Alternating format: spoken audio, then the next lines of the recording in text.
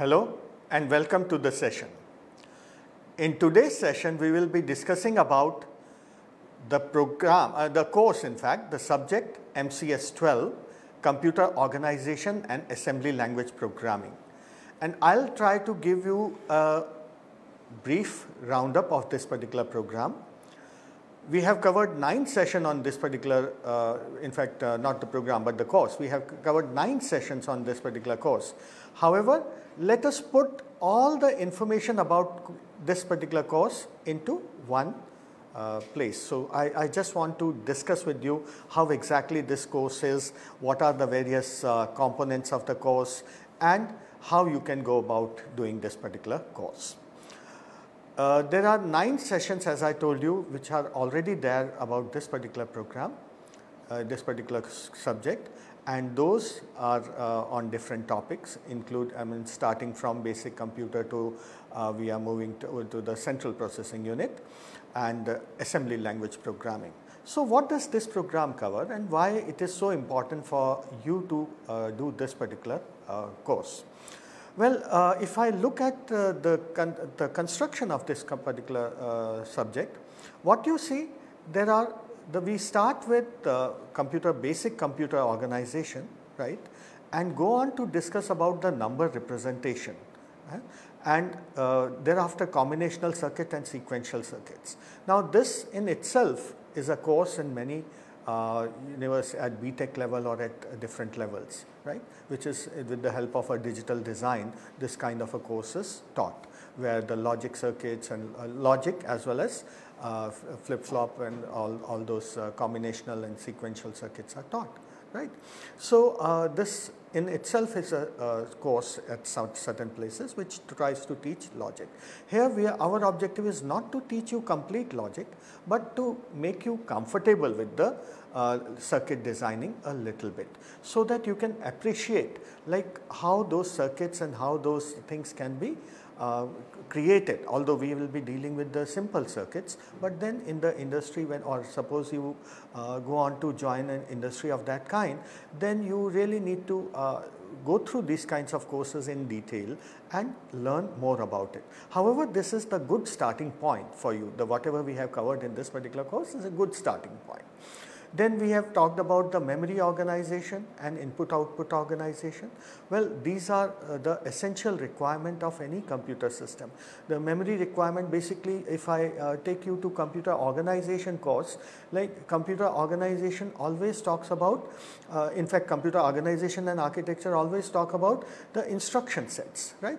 So, uh, somewhere down the line when you are dealing with the instruction sets, somewhere before you go to the instruction set, what you need to know various components and how they interact and what are the important of importance of different components, how these technologies work, right. So, these are the uh, discussion as far as uh, we have done in this particular course. So, basically you can uh, cover some components as well as uh, the organizational component in this particular course and then we go on to discuss about the, uh, the central processing unit where the micro instructions etc. were talked about in, in detail and finally there is a uh, there is a unit on, I mean there are uh, construct on the assembly language programming. In addition, we have many more things. So, let us uh, discuss each of these blocks uh, each of these blocks in more detail so that you can appreciate what exactly we have done in this particular course. So, you can imagine that this course uh, gives you tremendous confidence as well as this course talks about the internals. So, the course which talks about the internals will definitely help you in programming, it will definitely help you in understanding concepts of operating system. And it will definitely help you in designing low level software specifically if you are interested in designing uh, compilers or those kind of uh, compiler writing or other kinds of things where low level programming is essential. So, this, this is the course which is going to give you tremendous confidence. Some of you may uh, go on to do, I mean later on go on to do some hardware description also. So, hard, hardware description languages once again the starting point is the logic gates etc. only right. So, you know all those things and you can utilize uh, all those things in this uh, whatever you learn from this particular course. Now, if we look into block 1, uh, the unit 1 and 2 basically focus on some uh, aspects like von Neumann architecture. Now, this being the first architecture and still very very one of the popular architecture although uh, there are many newer architectures have come, in, come into existence. So it is uh, the, the in fact architecture which basically defines what computer units consist of and all of you know what computer consists of these I mean the central processing unit, the input output and the memory right. So basically these are the components but not just these components but how they are connected interconnected with each other and that is the main hallmark. Today uh, you might be having very very advanced systems where uh, multiple connection paths are there between the CPU, uh, the memory and the input output uh, units. But once again all these parts are going to be very expensive, circuit boards are going to be expensive. So von Neumann architecture was the first one, right, where the problem is once again von Neumann architecture suffer from the bottleneck and the bottleneck is single path, that is the single bus uh, which was available in the von Neumann architecture. So I think you, you got to go into these details, you got to learn about these details. Then in this uh, we have talked about instruction execution like how these units can come together to execute a particular uh, uh, instruction, an instruction which is just a mnemonic. So, in, in order to understand the instruction, uh, uh this, this thing uh, may be just a starting point at this point of time, but unit block 3 talks about instructions in a much, much more elaborate manner and block 4 gives you a very good example of instruction set, how an instruction set can look like. Okay. Then this unit, I mean this unit 1 and 2 also discuss the concept of interrupts. Now that is uh, something very useful for every one of you to know. Uh, all the input output processing which you do from the keyboard and you know the keyboard is one of the slowest device, right. So keyboard input output is with the help of interrupt. When you are dealing with the hard, hard disk, interrupts are involved although it is using direct memory access, but interrupts are only uh, uh, always involved. So, interrupt is something like uh, what we can simply assume that uh, somebody, uh, I am taking the lecture and somebody interrupts okay, by asking, raising hand and asking question. So, that is a typical interrupt. So, how the interrupts are going to be handled? Now, typically if uh, you ask a question to a particular teacher, teacher will not stop immediately, right? Teacher will stop at a point where he or she has finished a particular concept and then he may come to you about your question. So that is how the interrupts are serviced in uh, CPU by the CPU. CPU waits till the ongoing instruction is completed and then the interrupts are acknowledged. And then, then there can be a priority of interrupts also, which one will be acknowledged first, which will be acknowledged later. For example, I mean, uh, why priority is needed is suppose a keyboard uh, uh, interrupt is being processed and there is suddenly a hard disk interrupt which occur at the same time. Then hard disk interrupt is going to be uh, acknowledged immediately and keyboard uh, interrupt can wait. For the simple reason because uh, the hard disk interrupt if it is not acknowledged immediately then probably there will be a complete rotation rotational delay and if there is a rotational delay you know uh, it may be in the in terms of milliseconds. So that is why the priority of interrupts also become very very important and uh, there is a discussion on uh, priority of in, on interrupts. In addition, there are simple concepts like family of computer, then the uh, that is uh, very large scale integration technologies. These are the things which has been discussed in these units. They, they are very good to know like uh, today we are dealing with ultra large scale integration oriented technologies. Although if you know you do not know VLSI then how you are going to understand the ULSI and all those kinds of technologies in a sense. But it is basically packing more and more uh, logic into I mean it is gates but then ultimately it is the logic right. So it is the semiconductor technology which you are putting in but but ultimately you can pack more logic, you can pack more information, you can pack more memory within the CPU, you can build in more processor within the CPU. So all those things then uh, fall uh, from this particular information only.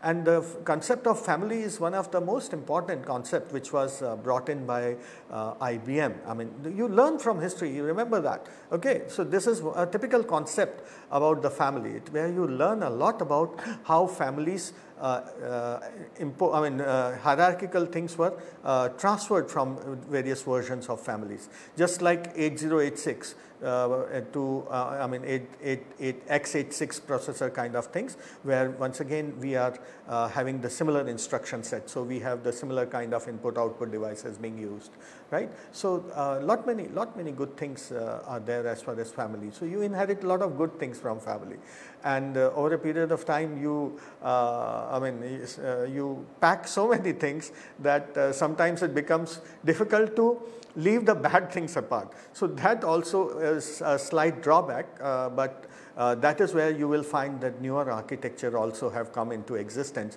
and one of that architecture happens to be the reduced instruction set computer architecture which uh, we might like to define a little bit uh, later but it has been discussed in uh, one of the blocks of this particular course. Then uh, there is a simple discussion about uh, the fixed point, floating point arithmetic. Now what you need to understand is fixed point is very very important but then uh, fixed point arithmetic represents a number range.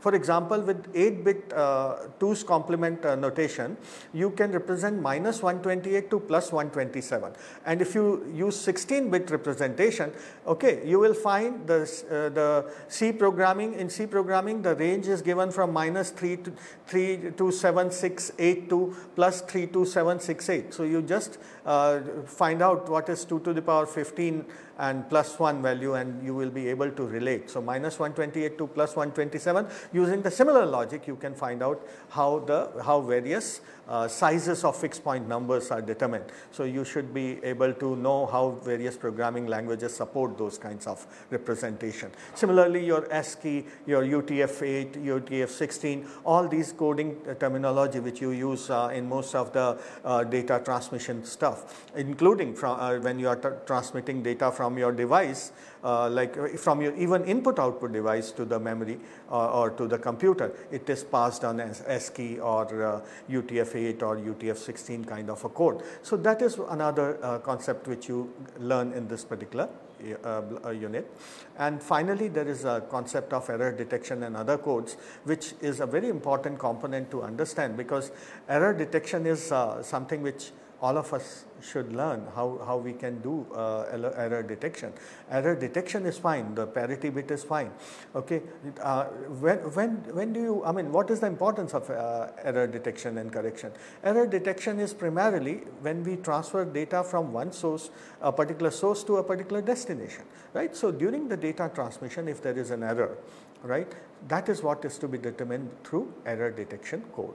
And uh, in general compu in computer one bit errors are detected and if you want more bit errors to be detected then there are complex codes. Okay, then uh, block wherever block level transmissions are there then there are block level uh, uh, detection codes you will find in the hard disk configuration and so on and so forth. But for determining one bit error you have parity bit and uh, for uh, uh, finding the error also like uh, which bit is in error you then use the uh, the Hamming's error correction code and then there is a double error detection code which can be uh, done that if which basically checks if there is an error in the two bits. So, this is what we have covered in unit 1 and unit 2. Unit 3 and Unit 4 basically focus on gates and logic circuits. Uh, unit 3 is primarily gates and logic circuits, the combinational and sequential circuits and uh, the sequential circuits are discussed in Unit 4, then design of combinational circuits and examples of co combinational circuits. So, uh, this is where we have uh, discussed about the Karnaugh's map and uh, you should be uh, comfortable with using K-map by now because it's a very good visual representation of uh, your truth table and it is that is where you are able to uh, find the adjacency and eliminate uh, that adjacency. It, like uh, what you should be sure of that each box in the Karnaugh map is representing a min term. So, by combining you are combining several min terms together and producing an optimal solution. So, that is how uh, Karnaugh's map work in general and it is a very useful tool for designing good circuits. All right but the, the, there is a limit to visual representation. So, Karnaugh's map can be used only up to uh, when we have up to 6 uh, variables only and beyond that then we have to go in for different kinds of uh, methods uh, and one of the methods has been just introduced uh, which uh, may, you may go through and it is uh, there over there. Then uh, some of the combinational circuits like adders, decoders, multiplexer, read-only memory. Now these are some of the circuits. Adders we have discussed to a great extent when we were dealing with the uh, with our sessions. Then uh, decoder is primarily used uh, when you are dealing with the decoder. It is basically selection lines are basically decoded lines only. So that is how you, I mean, you, you should be using uh, the decoder to a great extent. Multiplexer is one of the important one uh, and you, you, use it for register transfer and other uh, shifting and all those kinds of things. So multiplexer, uh, I mean, multiplexer in any case is one of the most important uh, device. I mean, you multiplex basically uh, from several inputs. there are multiple inputs and they are sharing one particular line. So how uh, exactly uh, which line will be transmitting onto that particular output line. So multiplexer is one of going to be one of the major uh, device when you are constructing CPUs, when you are constructing exchanges, exchanges of telephone or whatever, right? Because wherever sharing is there and multiple multiple people are sharing uh, uh, less number of lines, you require multiplexer, right? Uh, then read-only memory is uh, one of the major uh, stuff where which is it is a combinational circuit because read-only memory is fabricated, right? Whereas the read read-write memory which you have that is ROM, ROM is a, a, sequential circuit because storage is there and then the changing of the value is required. However, in read-only memory, it is a simple combinational circuit and whatever you want to store, you can store in the output and just the line you decode the line and that's how the re read only memory can work. It can be utilized, ROM can be utilized uh, for uh, sometimes similar kind of ROMs can be used for uh, fabricating your control units also right. Then we have flip-flop which is a very important concept like uh, it is the storage unit and uh, there are sequential circuits like registers or shift registers which uh, are utilized by uh, various uh, places. Uh, I mean these are the things you will you learn there are multiple programming uh, multiple instructions which you use shifting and all that and the counter circuit which basically count the sequence. Then uh, block 2 primarily focuses on the memory hierarchy which I think we dealt with in a great detail in our session where we discussed about the cache, RAM, ROM. Uh, ROM uh, we uh, not discussed that much but DRAM, flash memory all this information is available. Then we talked about a little bit of secondary storage technology and their characteristics. Then a very important uh, device these days, I mean this is the storage uh, configuration which is called uh, redundant array of independent disk RAID and its levels. So, they, it is organized into various levels. So, what you have is a number of uh, uh number of uh, redundant arrays, I mean number of disks and how uh, those disks, how those disks can be used to store information redundantly.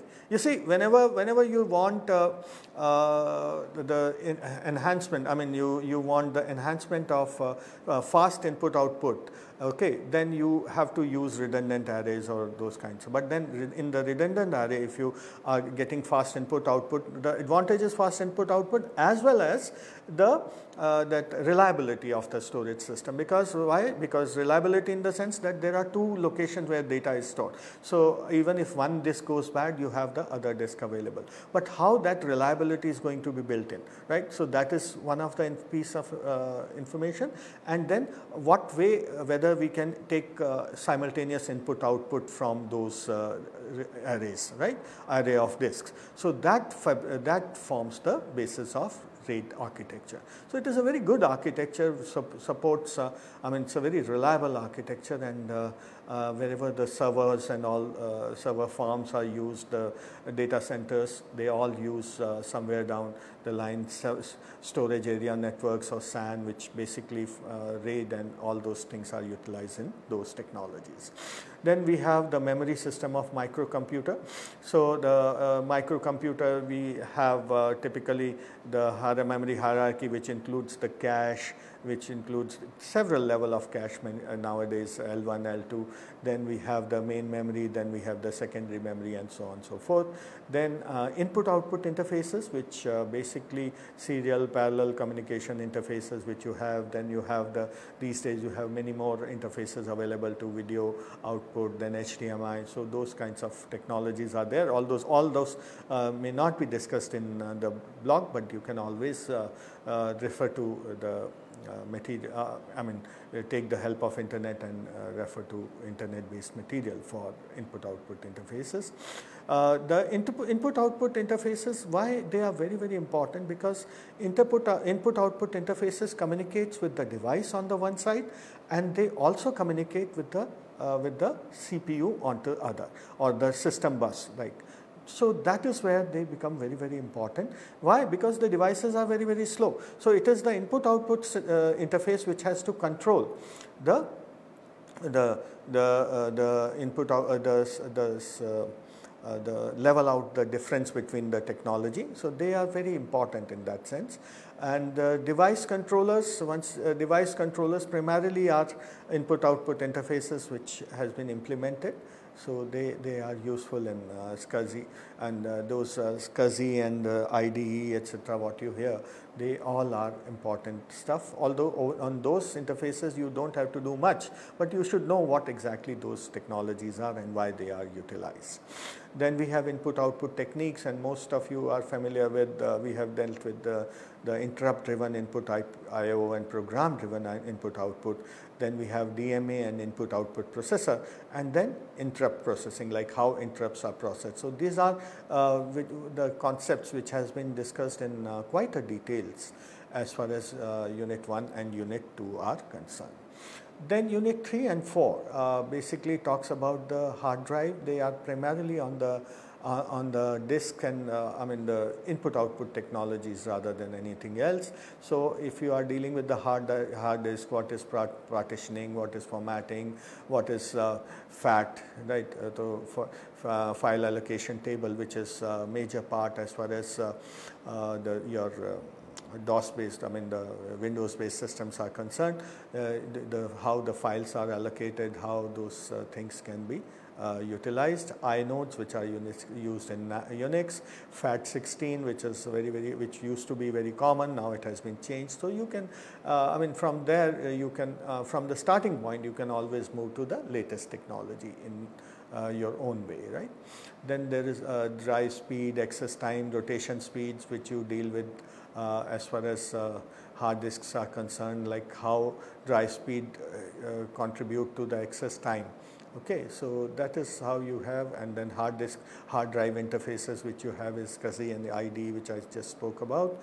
Then removable storage options, you have many removable storage op options including uh, I mean pen drive and uh, CD-ROM, CD, uh, CD DVD and all. And these days there is another very important uh, uh, input output technology which uh, you may be interested in is SSDs solid state devices technology. The difference between SSD and hard drive, they, they uh, technically share the same logic, but what SSD uh, have an advantage that there are no moving parts.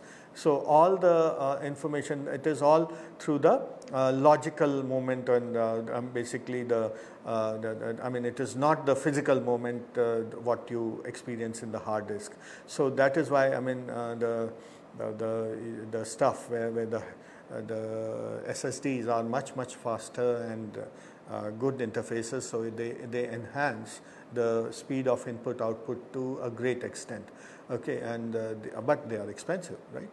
Just like uh, the memory hierarchy, the basic logic of memory hierarchy was uh, itself that why memory hierarchy is uh, uh, difficult to deal with because uh, or why do we need we need a memory hierarchy? Because it is difficult to uh, I mean invest too much in uh, the in, in a simple in, in, a single kind of memory although it is it will enhance the speed to a great extent but it will increase the cost and is it required? So there has to be a trade-off, right?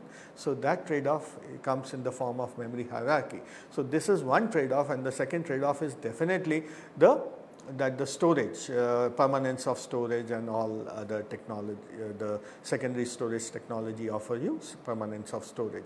SSD offers you uh, between uh, RAM and uh, hard disk, somewhere in between kind of uh,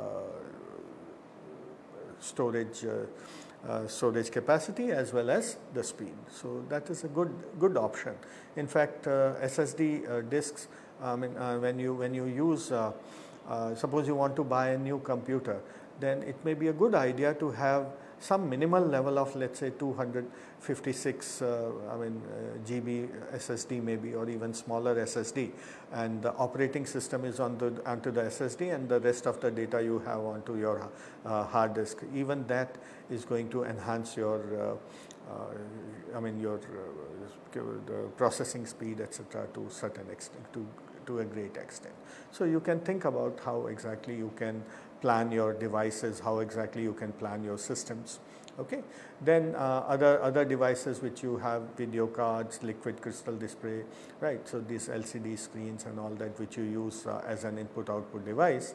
So uh, this unit talks about it. Modems, print resolution, scanners, keyboards, mouse, how do they work? I mean it's not just what uh, exactly they are, but how exactly they work, what are the scan codes, what is the print resolution, what is the scanner resolution, how does modem transmit. So, some technical details are there as far as these units are concerned. Uh, block 3 uh, talks about the important part is the instruction format. Now, instruction format uh, as you know basically consists of the operation code and uh, addressing modes and the uh, and the address actual address. So the addressing mode and actual address play very very important role when we are designing an instruction set. Okay, so that is what uh, is the whole uh, I mean uh, the aspects of uh, block 3. So instruction format the number of instruction which you choose for in, in a particular instruction set is very very important. So the type of instructions which you want to get into a particular which you want to uh, have in a instruction set of a computer which may be the arithmetic instruction, maybe logical instruction, maybe the, the shift instructions, then the program transfer control, the transfer of control instructions and the special instructions. So these are in general the kind of instructions which you will be requiring in any kind of a computer and all those has been discussed in this. An interesting thing has been talked about here is that how the number of addresses in an instruction, right, uh, affect the size of the program. However, they also affect the size of the instruction. The more are the uh, operand addresses, the long, uh, longer is going to be an instruction. Now that is where uh, some designer brought in a technology called reduced instruction set computers, where uh, they even if we are utilizing one or two uh, operand in an instruction, even uh, even in that particular case, all the operands are in the register. All the operands are registered. So register operand, you got to have the smaller length addresses. But in the cases of some of the, I mean, it's uh, as far as uh, the machine goes, the data has to be stored somewhere in the uh, memory ultimately, right? So those uh, addresses are also very, very important and they are also dealt with in reduced instruction set computers also. Then we have the type of operands over here. So number of uh, the type of operand you already familiar with which we uh, discussed in the instruction uh, the, the, representation of data right. So uh, that is uh, where you can uh, once again consolidate the type of operand which you have that is floating point. if you are dealing with numbers then floating point fixed point if you are dealing with characters then you have ASCII, UTF-8 and all and if you are dealing with the logical data then they can be simple number representation for that also. Then there are addressing modes and their importance and the addressing modes as I talked about. Uh, the addressing modes uh, many a times makes things easier for you to deal with. Specifically, um, um, one of the most important concept which you use in your program is array, right? Uh, without array, uh, I mean, it, it, is, it becomes somewhat difficult when you are doing the repeated processing, right. So, arrays are important and uh, uh, to deal with array you have uh, typical uh, that is indirect addressing modes which require base address and all uh, base address with uh, incrementation, decrementation that makes the array processing very very fast. You see uh, the organization has to go hand in hand with the programming languages. If it does not go hand in hand with programming languages, then what you will end up creating a machine which is not optimized for writing different kinds of programs. So that is what is important in this particular case, right? So, so description of, uh, and then uh, you always have registers. So this is what is important when we are dealing with, uh, I mean, uh, instruction sets. And instruction set architecture is, has uh, one of the major role to play in a, uh, I mean, you, you call a machine good or bad based on instruction set architecture to certain extent. And the objective is to study what kind of programming environment this is going to be the best kind of a machine. So, instruction set designer have lot many uh, major role to deal uh, with and, and that is where I think the Intel designers have done uh, great. I think they have done uh, literally some good work and that is why they are able to produce some wonderful processors and which have been lasting from years to years to uh, I mean so many years it has been there. The uh, Apple designers I think now now have uh, moved on to they, they, there is a convergence of uh, uh as far as uh, the technologies are concerned. So now we are having similar kind of architecture which are coming up for these machines, but still their overall instruction sets are somewhat different. Okay. Then uh, the micro operation concept, this is very important that how an instruction is going to be executed within the instruction. So an instruction is a macro instruction for a computer, uh, right. For us, the programming language is a macro instruction, right. From programming language, then we convert to machine language that there are a number of instructions which gets generated. And for CPU, even that uh, machine instruction is a macro instruction, right. So that is how the thing goes, right. And that macro instruction requires certain steps of execution where uh, the simple if you uh, if you want to see the simple micro operations which which may be required some some will be required for fetching.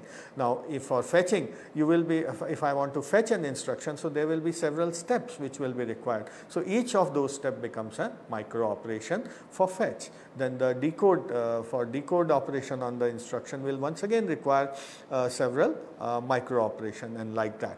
So micro operation are the minutest or the smallest or the simplest simplest kind of examples, uh, the operations which are required for execution of the instruction. And those are basically at the level of, I mean simply at the level of transfer of information, uh, doing some arithmetic or uh, logical operation onto the data, transferring data from one place to another. So that, I mean it is something very close to how controls unit should be operating that particular computer. So, somewhere down the line micro operation leads to design of the control unit. Okay. So, this is how the whole sequencing is uh, there as far as uh, design of the machine is concerned. So basically you have the application or orientation, application programming languages, applications which are there. On that particular basis the machine uh, architecture is designed and once the machine architecture has been decided then on that particular, for example if you are work, uh, trying to work uh, to, uh, to let us say on, work in the area of neural networks and highly parallel processing oriented stuff, okay, weather forecasting and all those those uh, kinds of situation. So this von Neumann architecture is of absolutely no use to you. Why? Because the uh, one the bottleneck of uh, uh, one uh, path, it makes it absolutely redundant. So, and you are dealing with uh, one instruction is dealing with huge amount of data. So you require a different architecture altogether, right? So from your application, we design the instruction set right.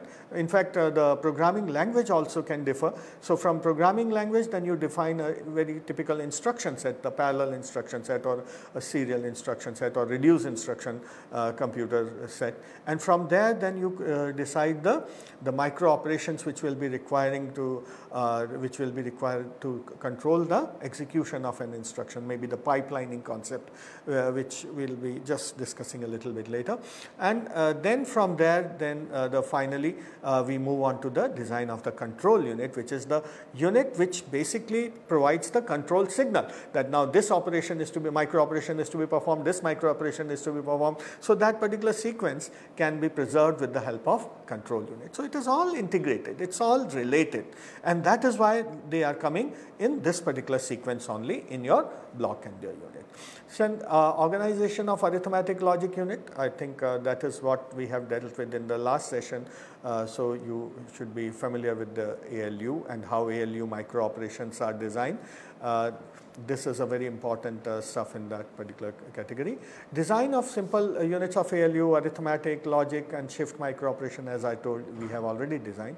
Now the pipelining is a very interesting concept because pipelining uh, can be done for uh, instruction, can be done for floating point addition, can be done for uh, number crunching problem uh, situation. But the one of the most important pipeline deals with the instruction pipeline. So, instruction pipeline is an interesting concept because instruction can be divided into like uh, it is something like uh, uh, if I uh, want to perform for example, if I want to do railway reservation booking all right. Now, uh, if I want to perform that particular uh, task how the things can be uh, one is that there is one person who is doing the reservation. So, first person come, he does the all the tasks of it, right. So, that is uh, I mean uh, first takes the form of it, then uh, then inputs all the data into the computer. Now, at the next level, then collects the money, then issues the ticket. Now, can we can we design a mechanism? Uh, instead of one person, we have three parallel uh, units which performs this particular task, right. So, three uh, simple, I mean three workstations which will be performing where one will be just collecting uh, the form and just inputting your data. The second person will be uh, specialized in uh, reserving the ticket. The third person will be then uh, taking the money from you and the fourth person will be just issuing you the ticket in a parallel way. Now, at the same time three or four people will be in the queue and working into this particular pipeline. However, all these units are going to do small uh, tasks. They can be specialized tasks, so they will enhance the speed, right? So they are, they are the specialized tasks. So everybody is doing a special task. So you will be that particular person will be mastering in that particular task. So like that. So the, in, uh, the that means in the computers similarly in a pipeline, the specialized tasks can be made more efficient and they, then they move very, very fast into the units and more instructions can be output at the same point of time. Uh, and uh, in fact, uh, that is uh, one of the pipeline is one of the hallmark of reduced instruction set computer where one instruction per cycle is expected to be produced which is a very good uh, output rate as far as uh, execution of instruction is concerned. Then this unit also I mean this block also deals with the hardwired control as I discussed with you that the micro operation leads to uh, the control unit and microprogram control where the concept like uh, uh, uh that is micro program micro program memory then how that microprograms or the micro instructions can be utilized by the by the control unit to issue uh, different sets of signals. And finally, we have discussed about the RISC principle where reduced instruction set computer has been designed, why they are needed. I mean everything in RISC is, happens to be very, very simple. And there are strong logic associated with reduced instruction set computer, specifically that uh, the in the, I mean in uh, designing instruction set we become very, very, uh, I, I may say very uh, I mean, we, we become simple, uh, complex. We become complex uh, in the sense that we try to build, the complex instructions into the computer. Now, the result of that bringing in complex, uh, implementing complex instruction is that simpler instruction execute at a, uh, at, at, a fast, I mean at a slower rate and that is not the essence. So, what they say that the complex instructions are hardly utilized by programmers, right. So, uh, it may be a better idea to enhance the processing of simpler instructions rather than enhancing the speed of complex instruction. So that logic they brought in with the help of uh, what they did uh, some survey of lots of programs and on that basis they came up with this particular idea. And uh, they came up with that, that, since the instruction formats are very very simple so uh, the all the register instructions should be there the one uh, addressing modes be very very simple. All this uh, simplicity was brought in.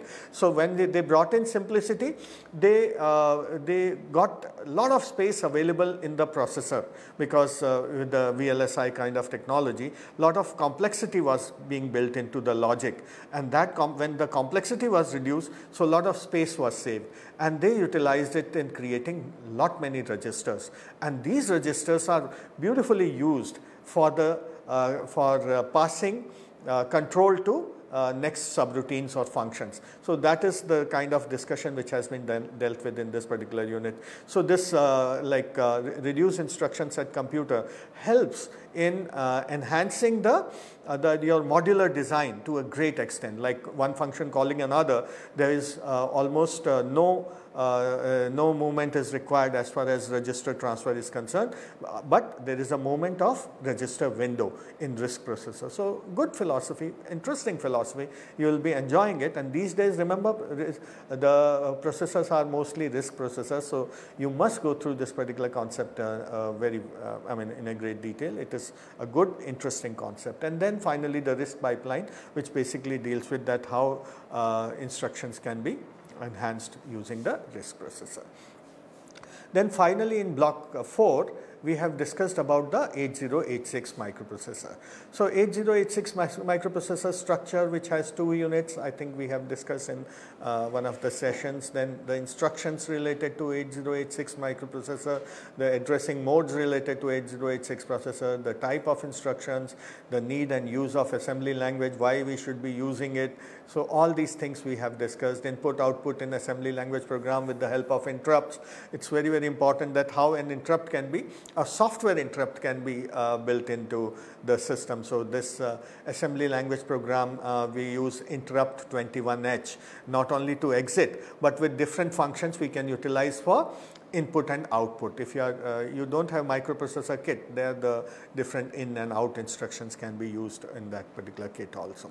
But uh, for the sake of assembly language instruction, it may be a good idea to deal with interrupt 21H with the uh, different functions 01H, uh, INAH and all that. So you will learn it uh, uh, learn about these input output stuff from uh, your uh, uh, this block 4 in this particular thing. Then sample assembly programs are, have been provided. some of them are using arrays, some of them are doing logical operations, some of the, um, them, them are doing transfer, right. One of the key problem which you will be facing is that first the logical concept you have to overcome is that there is a uh, assembler directives. So, and assembler directives and segment registers. So, segment registers why they are there you need to understand that okay segment registers are required just to convert a 16 bit address to 20 bit address and they also divide logically uh, memory into certain segments overlapping segments but that overlapping segment is not that important for you but at least understanding that there will be a data segment there will be a code segment there will be a stack segment and and uh, they should not uh, they can be overlapping in hardware as far as hardware is concerned, but in uh, when in our implementation they should not overlap. For example, stack segment suppose it overlaps the data segment then probably they will be overwriting. So, they should be separately uh, stored into into the memory as far as when you design it and then how those segment registers are initialized. So, for that I think uh, some of the instructions are there in the assembly language programming and then the logical in, uh, like uh, logic of assembly language programming. There are certain constraints as you know in assembly language programming that in 8086 uh, both the operands cannot be memory. Now, if both the operands cannot be memory and you want to add two memory operands, right, then there is a problem, right. So, you need to write longer programs and dealing with arrays and other things you can do. Okay, one of the interesting thing about uh, block 4 is the string matching. In fact, string matching is uh, barely, it's one kind of instruction which is utilized, which is not utilized by the uh, compilers of the instruction. So, string matching is a very interesting uh, domain of instruction in 8086 and there are a few programs which are associated over there. Uh, the Next thing which it talks about is the modular programming. Now modular programming has been propagated to you in the form of structured programming uh, from C, object oriented programming, C++ and all that. So basically you are creating module with whether they are secure or not that is a separate thing. But then somehow you divide your program into number of objects or number of uh, modules or number of functions. So all these things need to interact, how they are passed on. So obviously there are going to be subroutine calls and subroutine calls and return from those subroutine calls. Now when, when we are, when there are subroutine calls, what you are moving, you are moving from a program. Suppose there is, it, at one place is your program, then you move to a function which may be at a different memory location and once that function executes, you come back. So that's how the subroutine calls one. So there is a uh, like which is the next next instruction to be executed and then what is going to be the return uh, value. So return values are always stored in the stack. Okay, so that is what has been discussed in uh, modular programming. What has been discussed? There can be far uh, for uh, function calls or uh, subroutine calls or near subroutine calls. Near subroutine calls are within the same, same segment. So you only store the, the offset. Whereas when the assembly language the is that is the, there is a for assembly call, call, then then you require to store the segment as well as uh, the offset of the instruction. So, like that these kinds of information has been dealt with in quite a detail as far as modular programming is concerned. So, then uh, interfacing assembly with high level language has been dealt with. Now, this really depends on uh, compiler to compiler. So, it has been dealt with I mean it has been talked about in the context of C programmer, but it will be very difficult to implement because uh, nowadays uh, overall uh, C program program structure has changed, uh, the models of C program has changed. So it will be difficult, but this is there just for an idea. Then a very interesting uh, concept like device driver in assembly, how device driver can be uh, can be designed, like what, what are the steps which are required for a dev device driver has been dealt with. And finally, a very interesting uh, program is there which is interrupts in assembly. Now, interrupt uh, the difference between an interrupt uh, uh, program and modular program is very simple. In interrupt program, what you do, you store the context of the machine also because in uh, when you are doing modular programming you know where exactly you come back and you know what is to be passed on and what is going to be returned and uh, none, none of the registers are impacted then, technically speaking. And even if they are impacted that is what you know that, that has been the design of uh, the situation but when it comes to interrupts in interrupts the uh, what we say the status the status of the program the, whatever program which is going on and we don't know which program is going on because interrupt can occur at any point of time of any uh, uh, when, when, any program. So we don't know which program we, uh, we, we, are going to come back and uh, there is no specific uh, call and return statement. Just there is an interrupt uh, call to interrupt servicing program, right? So the status of the various registers is also stored when you are dealing with uh, interrupt uh, servicing, right. So, when you are writing an interrupt servicing program, the, all the registers which might be affected by the interrupt servicing program need to be stored once again where are they going to be stored? Always onto the stack. There is no other, uh, there is no third place where the information is stored. It is always stored onto the stack. And then the information is, uh, I mean, the, the, interrupt service program does, uh, deals with all the things. Then the return, returns to the next instruction, but storing the context, restoring all the registers once again. So that is a very interesting and there is one uh, very good program uh, where uh, you will find how uh, stack, where exactly will be the return address, how the uh, addresses of various registers will, uh, where exactly will be the addresses of various registers, how they will be saved, how they will be uh, restored. So that, that kind of information is there. So you will, I think you will really like that particular example if you know this particular context about it. So this in general is the overall structure of MCS 012 which is a, a course on computer organization and assembly language programming. Uh, there are many activities which you can perform onto this particular course uh, which deals with the, that studying the block is the most essential but then you can always uh, learn from external sources and there are three references which are given in the in the block you can always refer to those references if you want to learn more then you must solve all the uh, check your progress questions by yourself, uh, compare your answers with the whatever has been given in the block.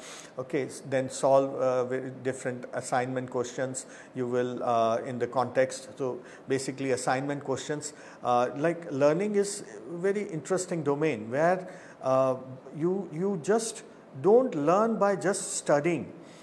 Okay you you also learn i mean you retain maximum of learning if you perform some problem solving also along with it right? So that is why we want you to solve uh, these assignment questions uh, which are primarily either analysis type or some, some of them may be recall but very few are of the recall type. Many of them are analysis, compare, contrast, understand and explain basically explaining the things may make you uh, good in uh, particular presentation skills and then uh, there are many uh, problem solving oriented also where we ask you several questions where you uh, solve different problems in your own way uh, which may be slightly different from what is given in the block. So, th that enhances the that uh, makes the learning permanent. You can also uh, do questions from the previous year question papers especially the numerical questions right uh, they will be helping you your understanding and uh, also uh, give emphasis to theory question and try to write your answer and then compare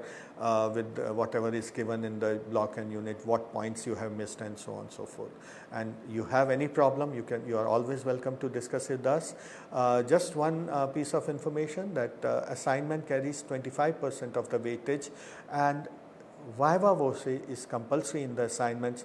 So make sure that you do your assignment yourself because although Viva voce counts 20 percent all uh, weightage only, but if somebody fails in Viva, Viva then his, his or her assignment will be marked at a very, very low level. So you uh, prepare well, you do well in your assignments. The last date is very nearby, but uh, be thorough with your assignments. Do, uh, I mean, after writing uh, the assignments, I mean, it is always a good practice to uh, re-go through it, I mean go through it again and uh, if you need to write it again, there is nothing wrong in writing it again if there are too many mistakes, right? Because uh, it always helps if you are writing it again, it always help you uh, in that particular sense. Okay, thank you so much and I think I am signing off from this particular course. Thanks and bye.